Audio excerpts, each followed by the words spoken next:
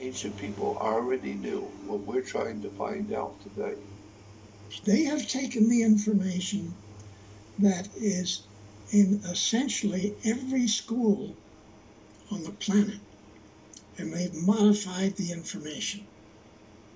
All history documentation in this country and on every country on the planet have been given lies about astronomy, lies about mathematics, lies about uh, uh, technical uh, capabilities, lies about the universe, you name it, okay? Everything have been lies.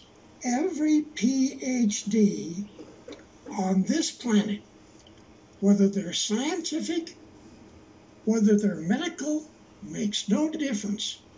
Every book that they read the six years they were in the university are lies. Hmm. They're not telling the truth. They were not taught the truth. I wanted to pay a short tribute to Jordan Maxwell.